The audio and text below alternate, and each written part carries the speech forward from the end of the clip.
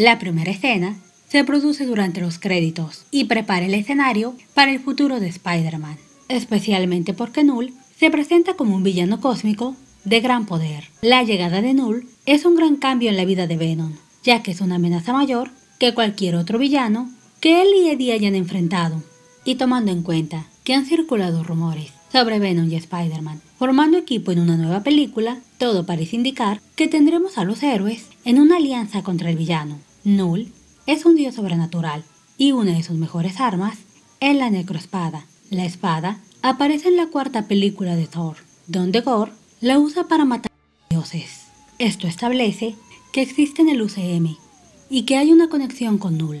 La segunda escena comienza a rodar después de los créditos. Aquí tenemos al camarero que aparece en la escena de los créditos de la tercera película de Spider-Man. Sirve a Eddie Brock en el bar y le explica la historia de la Tierra 616, antes de que Eddie regrese a su propio universo, Tierra 688, dejando atrás una pequeña pieza de Venom. La parte restante del simbionte le da a Null la motivación para viajar al otro universo.